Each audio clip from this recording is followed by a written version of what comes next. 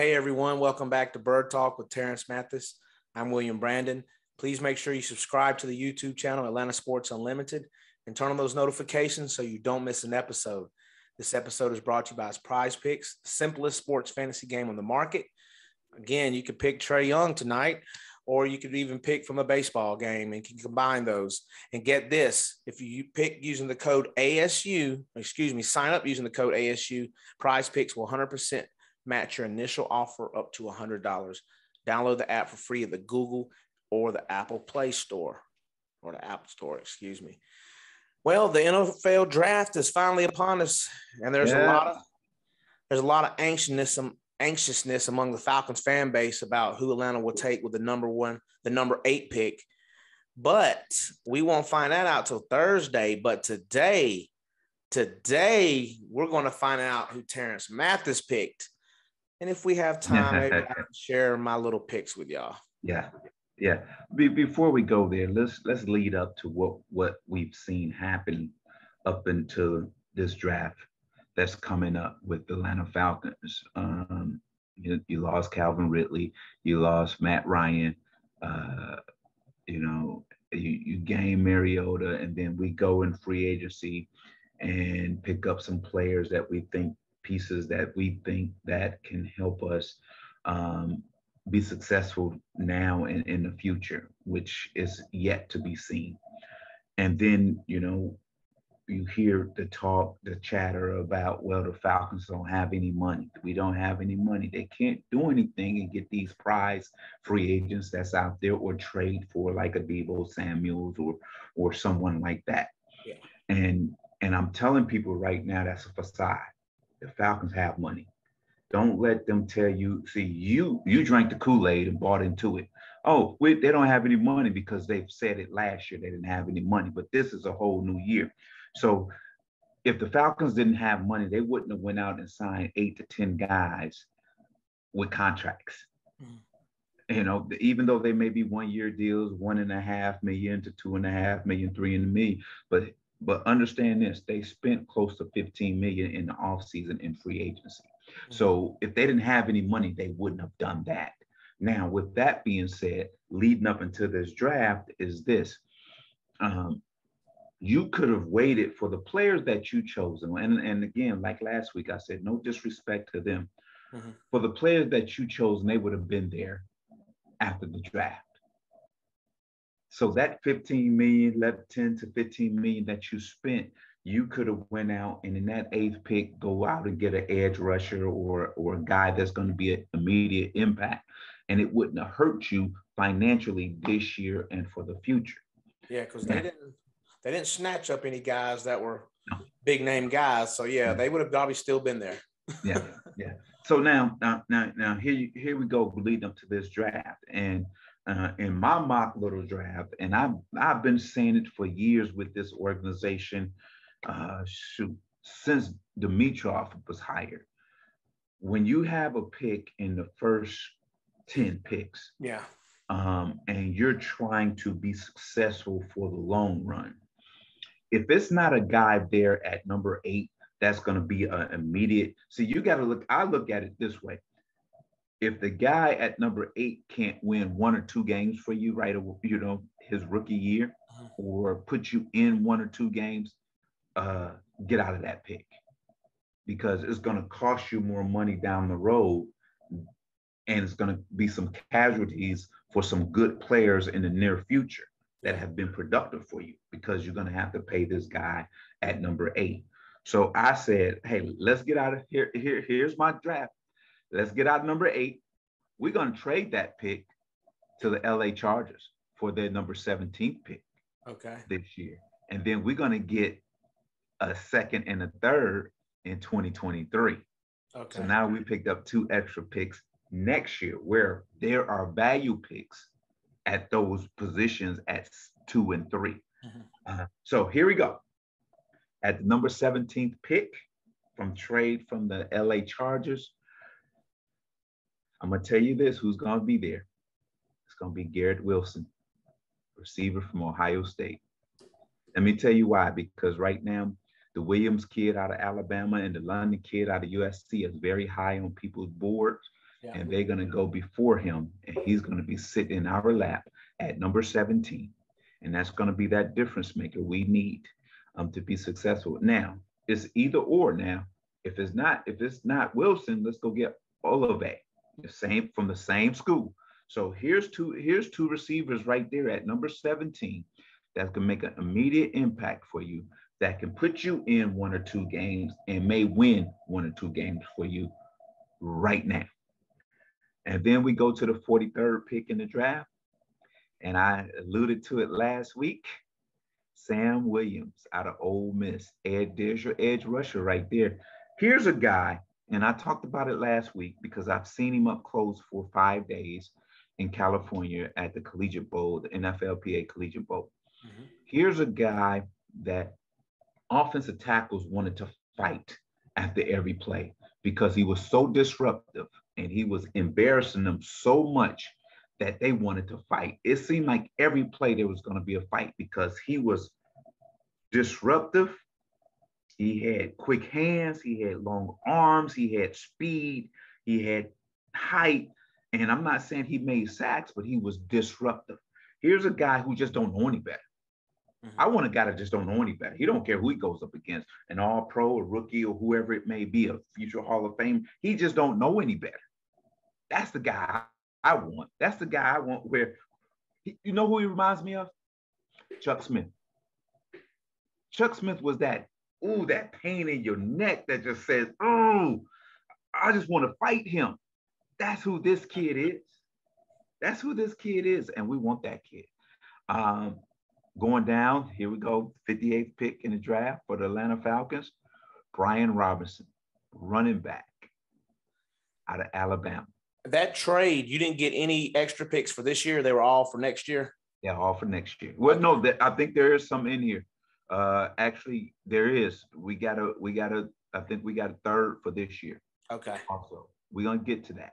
All right. I think we got, yeah. You got Brian Robinson. Eight, 74, and 79 are are picks that I think we got from a couple of those picks we got from the Chargers. Gotcha. So Brian Robinson, running back from Alabama, that's that big guy, bruiser guy that Arthur Smith likes in his offense. In his mm-hmm. two tight end, three tight end sets, where and and two back sets where uh, he can run him like a Derrick Henry. I'm not saying he's Derrick Henry. Yeah. he wants to he wants to have a run game similar to what he had in Tennessee. Yeah. And here's a big bruising back that can do that for him.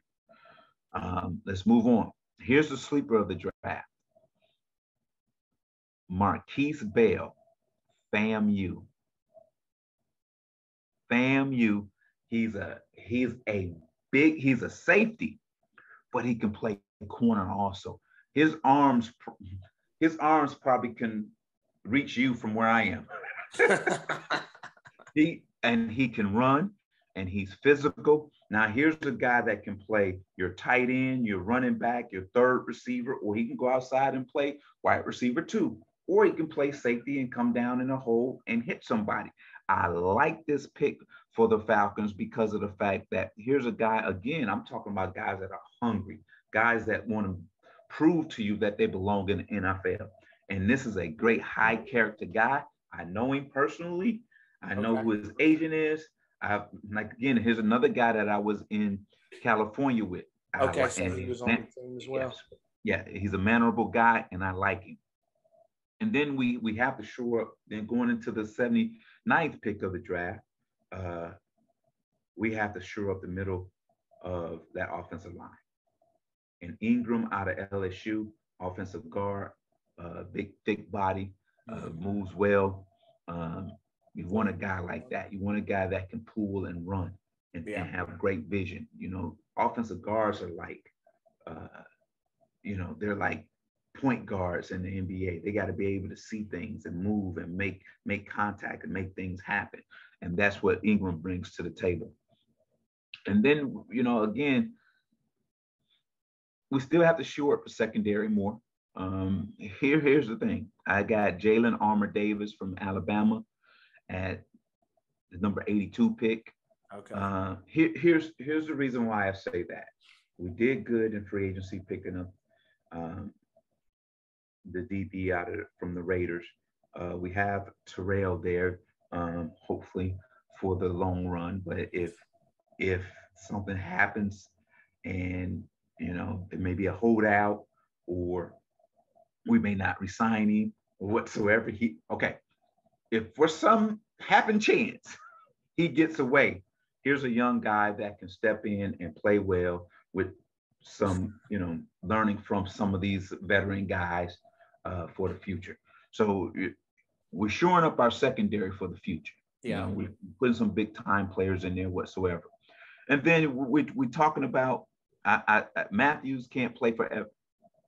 As we said that he, he can't play for as ever. So he Ezeudu from North Carolina. From North Carolina. Um, here's a guy that's been in an offense where they ran the ball well. Mm-hmm. They were physical in the offensive line. Uh, he protected for Sam Howell. Sam Howell did some great things. So I think here's another guy that fits what we try to do offensively. You know, I don't know what we're trying to do, but what I've seen, this is yeah. the type of guy that I see what we're trying to do offensively that fits um, our system. And and here's another sleeper pick for us because we don't know what's going to happen. And like I told you, if we do take that number eight pick, it's gonna we're gonna lose some guys that's been very productive in us and for us for in the next couple of years because that number eight pick contract is going to be up in four years and we're going to have to pay him a lot of money. Yeah. So Channing Tid, Tindall from Georgia, you. linebacker, the guy who played in the number one defense in the land. He's to me, he's just dude. He's he's underrated because of all the big time names that him. But yeah. here's a guy that can step in and play well and and and be a difference maker. He can be he can be that Deebo for us down the road. You know, so you know, and I'm not trying to get rid of Deion Jones. Mm-hmm. But we know how this thing happened. It's a business. It's about money. It's all those things. If we happen to let Deion get away next year, here's a guy right right here that can step in and fill the role uh, that that Deion had left. I'm glad you clarifying because you know the comments are gonna be like, first he said AJ Terrell, now he's talking about D. Yeah. Well, but see, but I'm I'm I'm looking at it from a future you know, you, no, you I agree with you. It. I agree. You have to look at it you that way. because you, you, don't want to be caught off guard like we got caught off guard at the receiver position, yes. losing Julio Jones and Calvin Ridley. You don't want to be caught off guard. So you got to put people in the wheelhouse that is able to step in and make your team better. Mm-hmm. These two guys, when we talk about, when I'm talking about AJ Terrell um, when I'm talking about Armour Davis, and when I'm talking about Tindall, and I'm talking about Deion Jones, here's two guys that comes in your meeting rooms that make your meeting room better because they're going to compete. I'm not, I'm talking about guys that you said we talk about this all the time, William. Mm-hmm. In your meeting room, you're going to have some dudes that's going to want to compete. You don't want dudes in the in your meeting room that's looking at number one and saying, "I'm never going to play, so I'm just going to collect a check." Mm-mm. You want a guy in the meeting room says, "I'm better than him." and I'm gonna play, I'm gonna beat him out. And that's how your organization get better. better, yeah. Stop, stop drafting people that you know that can't compete in your meeting room. Stop picking up free agents that you know that's not gonna compete in your meeting rooms and help that position better. And that's what the great teams do. That's what the great teams do. No, you're and, right. that's that's and, and, you're one ankle ankle spring hamstring tear away from that second guy stepping in and being a being a Pro Bowl player. So mm-hmm. you have to have that in your meeting room. And then we go to 151. Dontario Drummond. Here's a big receiver out of Ole Miss. He may not be that fast, uh, but he is a physical guy. And he's fast enough. He may be a four six guy. He may be a four seven guy. But you know, I don't ever, ever, ever rely on 40 times because yeah. 40 times in football speed is totally different. I know a guy, I know, I know guys who run 4-3 at the combine, but look 4-8 on the football mm-hmm. So, and I know guys who run 4-6, 4-7 that became all pros and pro bowls. And Quan Boldin ran yeah. a 4-7 at the combine. He's on the Hall of Fame ballot right now. So here's another guy, big guy, who's caught a lot of balls, who's been in a system where they do throw the ball and in a system where he had to block downfield. So I like that pick. I think we talked about Tyreke Smith last year, 190 pick, edge rusher out of Ohio State. We thought he was coming out. Yep. Um, and and he did not. He decided to stay in. Um, and I thought his value was better last year mm-hmm. than it was this year. So, but at the end of the day, here's another edge rusher from Ohio State from a great defense that that's going to help your room get better. Where now you can have four or five guys competing um, at a high level at that position and can be disruptive because whoever wins that job is going to be better off because they know if they don't get the job done, that guy behind me is going to step in and he will get it done. So that's what I like about this pick right here. And then the last pick in the draft, I picked um, Dohnovan West from Arizona State, offensive guard. And you know, you always gotta, you always gotta have offensive alignment. You know, here's here's a guy that, uh, you know, played in a pro style offense. You know, he was he, you know, over there with Herm Edwards, so he understands what the, what it is to be a professional because he was around a whole professional staff. Uh, I believe um, the offensive line coach is a Hall of Famer, um, played with the Jets. So he knows football, he knows systems, he knows what he's looking at. So he's probably out of the offensive lineman on this list, probably the only one that's NFL ready. So then, as I said, in 2023, we get the Chargers second and third round pick. There you go. All right. Um, first off, it's a, it's a good draft. It is different from mine. I, I thought that you were going to trade back because we spoke about that before, and you you mm-hmm. like to get value. And I know you said this before as well, but you know we might have some first time viewers. Tell the viewers why you think those late round picks can be game changers. Well, the late round picks are they're they're looking at their predecessors or they're looking at their peers and saying, I'm better than him. Mm-hmm. I'm much better than him. So they're gonna go out and work hard to prove to you that they're better than that first round, second round, even a third round pick, and say, hey, I deserve as much money as they get. So they're gonna go out and play for you because they want to prove not only to is not only to you but the other 31 other 31 teams that you made a mistake by not drafting me higher than where I got drafted. And then the value for them is this when their contracts are up, you're not spending a whole lot of money. You still in you still in a second, maybe lower first round, second round market base after they didn't gave you for yeah. five years. So that's the value right there. So you're, you're it's an upside by drafting guys that you think that might have, could have been in the first, second, or third round, mm-hmm. and they're upset that they're not. And and and and those that's the big value in the draft, man. And that's how you build your organization because they're gonna be around for four or five years for you. Mm-hmm. So now they're gonna be around and they're gonna be experienced, and now you start plugging in you start plugging in. Now you don't have to go, oh my God, there's holes we have to fill. There's no holes to fill. Now you're just putting in guys for backups. Yeah. Just you you drafting just in case guys now.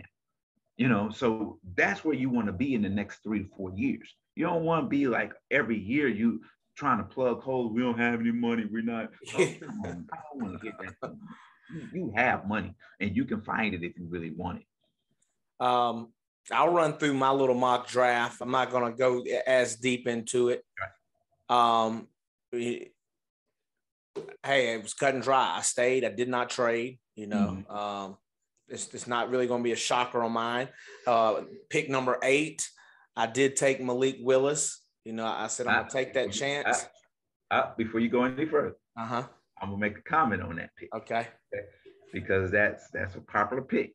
Mm-hmm. I would say maybe 60% of the uh, of fans would want to see Malik Willis. We draft Malik Willis. Here's my thoughts. Mm-hmm. We draft Malik Willis. We'll trade him to Pittsburgh for their number 20 pick and get Mitch Trubisky in return. Oh goodness, you said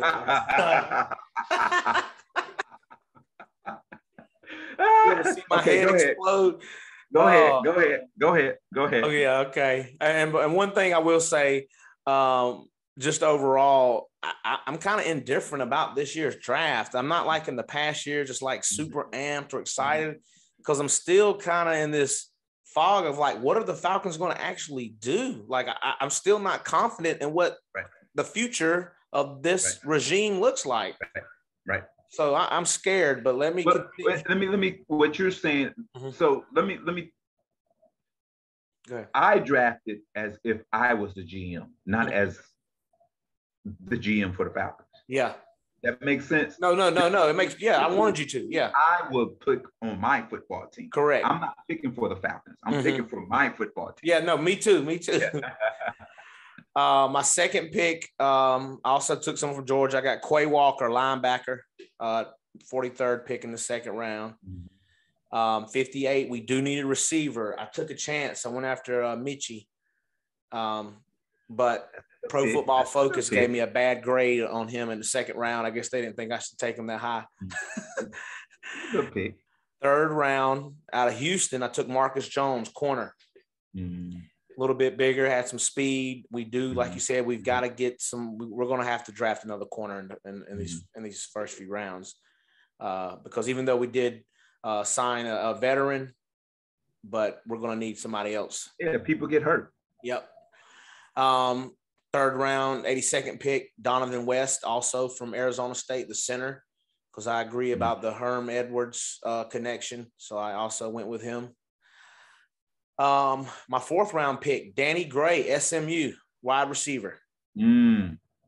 Yep. Um, I like the guy. I, I think you know if, if, the Falcons get some get him that late, you know that could be a, a bonus pick. Um, fifth round guard Joshua Oh, we got the same guy. Just realized that from North Carolina. Mm-hmm. So we mm-hmm. both got Ezeudu uh, from North Carolina. Um, round six, I took another corner, Joshua Williams from Fayetteville State. I uh, didn't get too high grade on him either. Um, but and then last, I took Jason Poe, a guard from Mercer University, mm-hmm. out of uh, Macon, Georgia. But okay, um, like I was saying, I'm just uh, I don't really know what to expect with this regime and what they're going to do. Mm-hmm. You know, since mm-hmm. they've had the so car the keys to the car, mm-hmm. you know, mm-hmm. I don't know where we've been going. You know, mm-hmm. guys are jumping off on the on the path and right. and we're and we're throwing in pieces that makes you scratch your head. So right. I think this is going to be a big draft for them as a whole because I feel like if mm-hmm. they can't produce some type of um, if you can't get some good quality players and at least coach them up to where level they should be at, mm-hmm. then what are you here for? You know, if you if you can't draft, you can't get free agents, and you can't coach them up, I don't know what to say. And maybe the fans are going to be mad at me, and I know it's not even the season, but I'm just not optimistic right now. They've got to show me something to make me optimistic. Mm-hmm. And I understand that. And we talked about that last week about being optimistic about this upcoming season you know, I'm at a point right now where uh, whatever they do is whatever they do. Yeah. You know, uh, and because obviously, you know, you're sitting there and I'm sitting here and I'm not in that in that room, you know, in Flowery Branch trying to figure out what we're gonna do. So, you know, or any other people who are on social media whatsoever, they didn't hire us, they didn't ask us our opinions. So they're gonna do whatever they want to do. Mm-hmm. Um, they've been hush hush uh, you know, up until this week or later last week, you know, talking about the number eight pick. You know, one said, you know, one one observation said, oh, the Falcons are not going to take a quarterback in that. And then Fontenot says, oh, we, you know, graded out all the quarterbacks mm-hmm. you know, in that draft and blah blah blah. So you know, it it could it's smoke and mirrors with the Falcons. We don't you know they think it's you know they think it's carnival where you know it's a it's one of those rides, a horror ride, and jump out. Ah, no, you know. Uh, it's fine. You know, they don't have to tell us anything. Mm-hmm. You know, but at the end of the day, you know, whatever product you put out there, it better produce.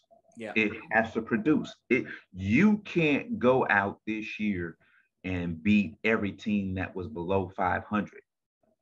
you're going to have to go out and beat some playoff teams. You're going to have to go out and beat some really good football teams. You're going to have to. This is, you know, you you can you can cry and say, oh, we're st- we're rebuilding. Oh, we don't have any money. This and that. This is the NFL. You're professionals. Mm-hmm. Your job is to to put together a product that's going to be successful. This is not this is not high school when you lose 28 seniors and you retooling. This is not that. This is the NFL. This is the best of the best. The best product in the world in sports is the NFL. And you're you're you're crying about not having any money or we don't have any players. Uh-uh. They hired you to get the players. They hired you to find money. They hired you to teach and to put together an offensive scheme, a defensive scheme, a special team scheme to put a good product on the field to be successful. And if you if if you stop looking for scapegoats and stop pointing fingers otherwhere at other places and look yourself in the mirror and say, Am I doing a good enough job for us to be productive? If you can't say yes to that, mm-hmm. hey, you better find a yes somehow in some way in a hurry. Yeah, they're gonna have to do something. It's like I said, it, we had uh, Dan Quinn and was going through that. It didn't even feel like that this to me. Now, like I said, I'm just like, I don't know. Somebody asked me, I, I don't know what I don't know. We'll just have to see. we, we don't know. And you know, the thing is the the you know, the little off-season program started and it looks good. You got, you know, everybody really much participating and excited whatsoever. But look, when you look fast. When yeah, when you go what where we go seven and ten, when you go seven and ten, yeah, you better show up. Yes, you better show up. You know, everybody better show up. You know, and, and there's no contract uh, situations right now, so everybody should be there. You know, so at the end of the day, um, that's a good thing that's that's one good thing that everyone's there, but um, we just don't know. We won't we won't know what this team looks like. And well, let me take that back. I was going to say until the first preseason game, because if they did that debacle they did last year and don't play I'll the start, play. Oh goodness, we won't know until week one what this team is. I'll, I'll let you end it on that. What you got to end the show? Um, here's here's here's something I heard that was so uh, enlightening to me. I heard it um, today, and the pastor was was pretty much saying we're giving the wrong people credit for our success. We're giving people the wrong credit for uh, helping us get through adversity.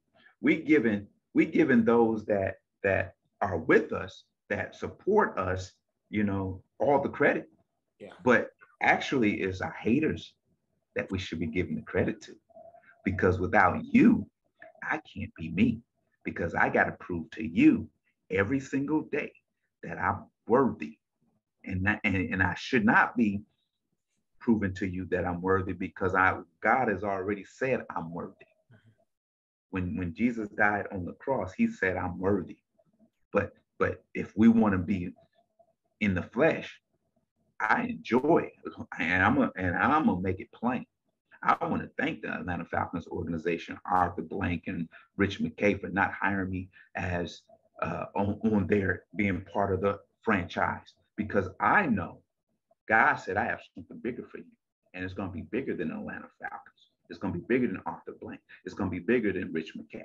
So when when your nose and when, when people disappoint you, just know God has something bigger for you that's bigger than them and bigger than what other people gonna ever see and be and bigger than what you ever thought. And then guess what? They're gonna look up and see you winning. And that's what then you give God all the honor and glory for that winning state.